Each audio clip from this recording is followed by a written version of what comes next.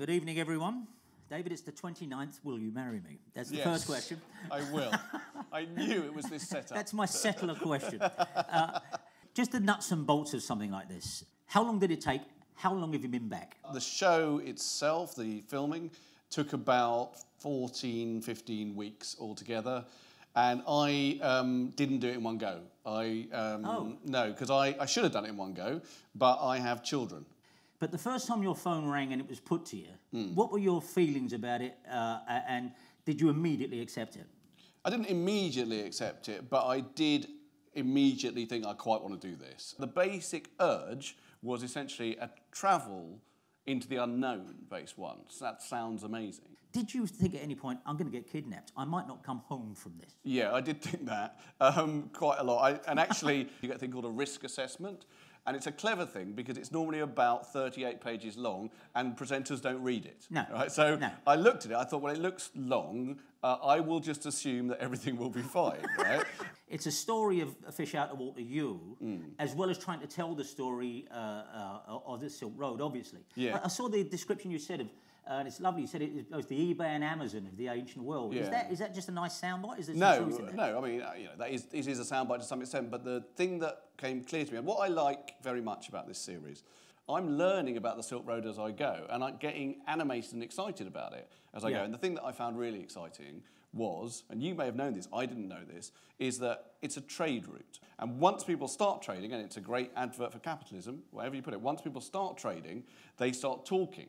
And they start Yeah. talking about culture and religion and dance and and they start mingling in terms of genetics and all the rest of it. I- I- and so suddenly you see the whole modern world start to move and come together. Every single day, you know exactly where you're going to be and what you're going to be saying. we didn't. You didn't? Oh, no, no, absolutely not. That's That's, not the what point I'm Michael. Palin told me. No, no, no. Well, yeah, but Michael Palin had more money. Yeah. Right? Oh, definitely. And that's not how we did it. We had a, a sense of where we might go and a sense of what a story we Oh. needed to tell. But for example, in yesterday's show, we go in search of a bit of the Great Wall. I said, I think it's over there. And we go over there, and someone's built a house right by it. And he's got three dangerous dogs guarding that, his house, and they chased us off. Right now, really, that wasn't planned, right? That is just happening. Although I nearly die in this bit. I decide to stretch my legs, which on this terrain turns out to be a huge error. I'm told that the top of these sand dunes here is the best ever sunset view across the desert. I actually will be dead before I get there, but apparently it'll still look great.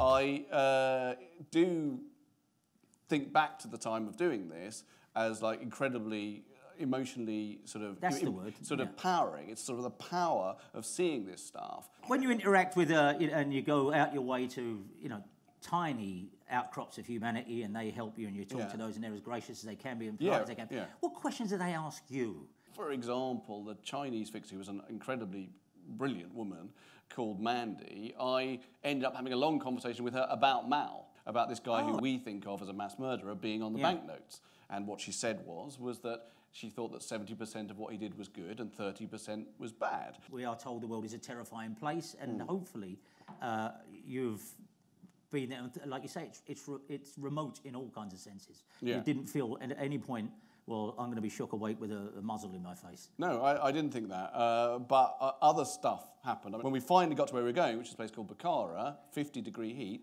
everyone got ill.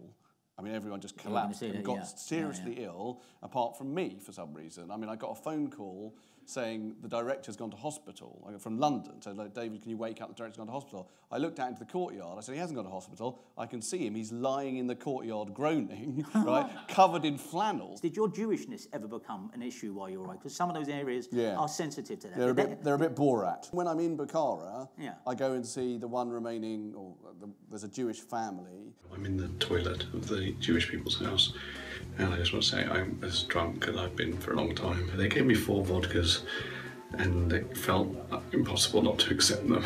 Smile. This family that I gave me a lot of vodka, they were they decided to stay. They told me because they wanted the Uzbekistani Jewish tradition to survive. That's just their house. really Yeah, it's basically just their house and, and the synagogue. tomorrow's the last day and then you do pack up Yeah. and go home hmm. It, it, what does that feel like? Saying we've done that. Uh, Hmm. uh, it, yes, you, you want to go home, but is there part of you that says I, I want to go on to the next place?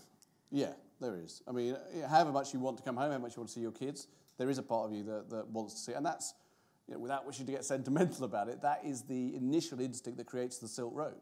The thing that creates the Silk Road is humanity thinking, what's over that mountain? Ladies and gentlemen, David Baddiel. Thank you very much. Thank you, Danny. Thank you.